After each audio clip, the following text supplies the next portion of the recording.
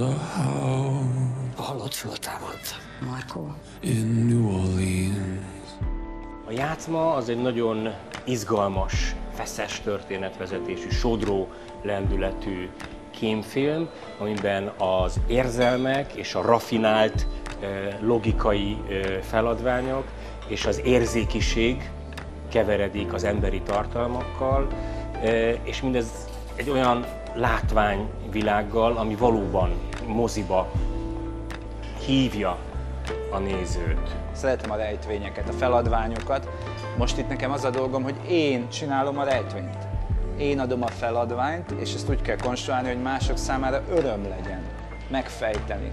Tehát én itt a rejtvényt írom azzal, hogy aki már sok ilyen filmet látott, vagy egyáltalán sok filmet látott, már mindent ki tud találni, annak is legyen egy öröm abban, hogy most megoldhatok egy rejtvényt.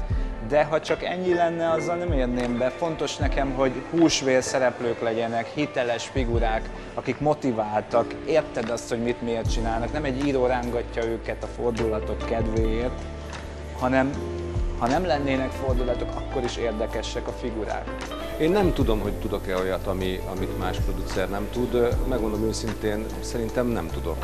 A, a, ha amennyiben mégis tudok, az, az, az valószínűleg onnét eredeztethető, hogy én azért több mint 30 évet lenyomtam a kamera mögött. Tehát 30 évig dolgoztam operatőrként, és ezt a, ami odáig elvezetett azt a, azt a ranglétrát, azt én végigjártam. Tehát én a Pécsi Körzeti Stúdióba kezdtem statív cipeléssel, valamikor még a történelem előtti időkben, és végigjártam a, az utat. Mindenkiben minden megvan, mindenféle.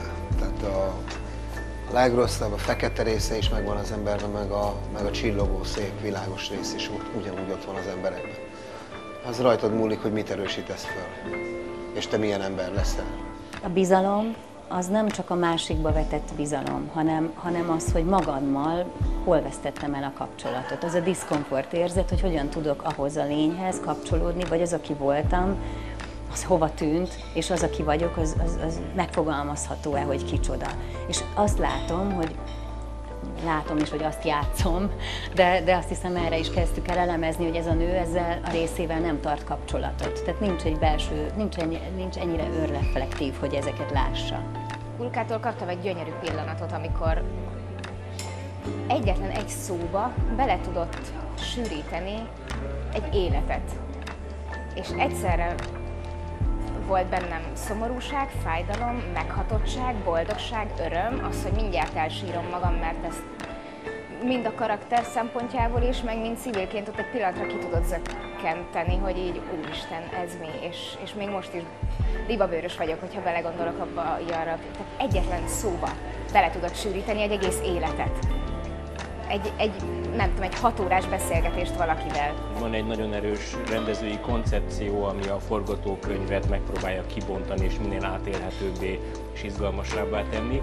E, És, és, és együtt kell dolgozni, e, együtt alkotni a látványtervezővel, Vinnai Petrával, akivel a fantasztikus építészeti és tárgykultúra részleteit megteremteni. Együtt dolgoztunk és találtuk ki a karakterekhez illő jelmezeket Kemenesi Tünde jelmeztervezővel. Ez is nagyon érdekes, hogy a korabeli 60-as évekhez képest egy, egy, egy minőségibb jelmezben vannak, azért nem voltak ilyen jól öltözettek akkor a, a magyarok. És hát nagyon fontos a film látványvilág esetében Nagy András operatőr munkája, aki azt gondolom, hogy hollywoodi szintű látványt hozott össze világításban, kamerákban, és ehhez mindenhez nagyon fontos, hogy megfelelő anyagi körülmények között tudjunk dolgozni. Ez egy viszonylag magas költségvetésű magyar film. Korábban kevés magyar film tudott ilyen költségvetésből dolgozni, most már vannak magasabbak is, de annak viszont minden forintját igyekeztünk beletenni a filmbe. A pénz az látszik a vásznon. Van valami, amit nem mondtam el neked. Én ezt nem akarom tovább csinálni.